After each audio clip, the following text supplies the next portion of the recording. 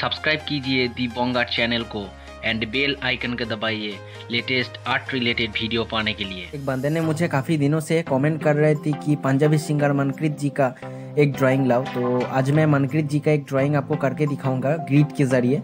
और आपको अगर नहीं पता कि ये ग्रीड मैंने कैसे किया तो डिस्क्रिप्शन पे उसका लिंक आपको मिल जाएगा। तो चलिए शुरू करते हैं।